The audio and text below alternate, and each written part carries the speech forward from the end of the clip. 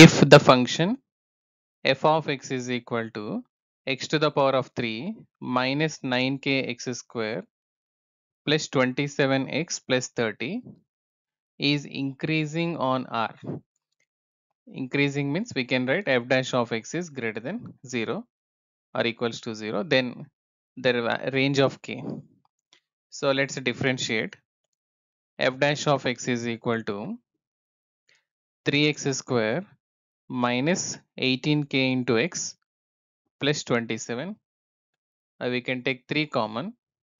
X square minus 6kx plus 9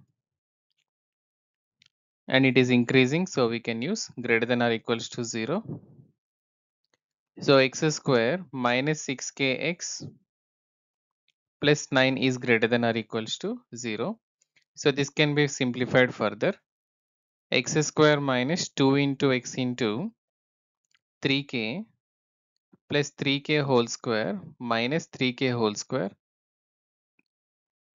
plus 9 is greater than or equals to 0 by using perfecting perfect square method. So we can write x minus 3k whole square and again here 9 minus 3k whole square is greater than or equals to 0. Since we know that x minus 3k whole square is always greater than or equals to 0, so 9 minus 3k whole square must be positive. So we can consider 9 minus 3k whole square must be greater than 0 or we can write 3k whole square minus 9 should be less than 0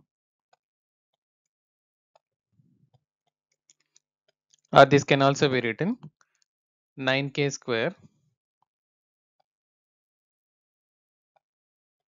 9k square minus 9 is less than 0 or taken 9 common. K square minus 1 is less than 0 9 is anyhow positive so k square minus 1 is less than 0 so we can write k plus 1 into k minus 1 is smaller than 0 and we can say from minus 1 to 1 it's negative. So k belongs to minus 1 to 1 or k lies between minus 1 and plus 1 so we can go with an option.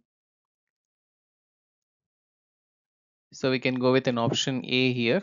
Either minus 1 less than or equals to k. K is less than 1